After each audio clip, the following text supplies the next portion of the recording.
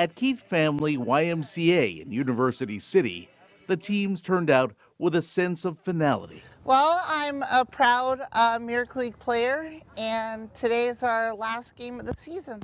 All right, if we can have our players and coaches please line up along the first and third base lines. The Braves and the Rockies stand for the national anthem, but they also stand for all the good that comes from friendly competition.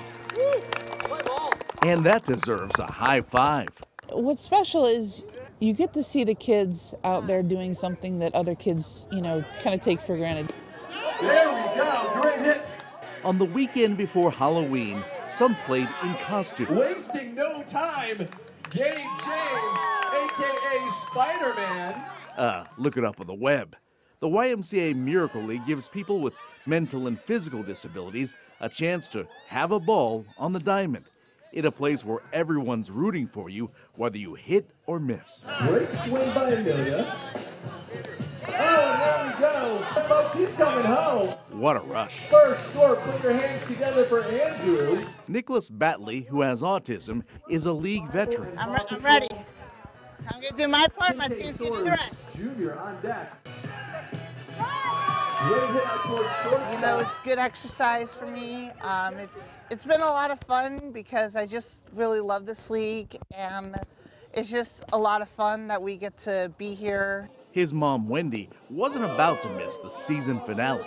Nicholas plays on the competitive league, which is new this year. They actually keep score, um, count outs. Wow, what a great hit. And if you were keeping score, the game was a thriller. Soares Jr. scored. There we go. With all eyes on the scoreboard, it was the bottom of the second and final inning. Nicholas with a chance to deliver, and boy, did he. There we go. Great hit by Nicholas on the center field. Nicholas smacks the ball into center field to put the Braves in front, his first ever triple. But Nicholas's mother says the 10-5 final score doesn't begin to describe her son's Miracle League experience.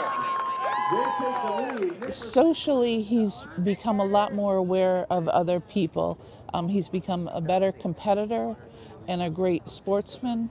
After shaking hands with their opponents, the ball players look forward to a year-end tradition. Nicholas, our Miracle League chaplain, and our captain, Basically, we get to have trophies at the end of the at the end of the game. and the one who hit in our game-winning RBI today. After that, it kind of gets really kind of sad because you know it's the last game of the season. The Miracle League gives them so much to believe in.